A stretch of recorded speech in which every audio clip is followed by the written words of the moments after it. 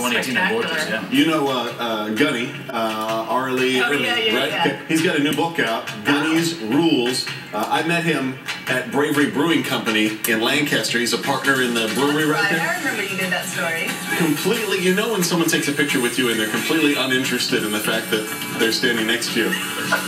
He's like, whatever.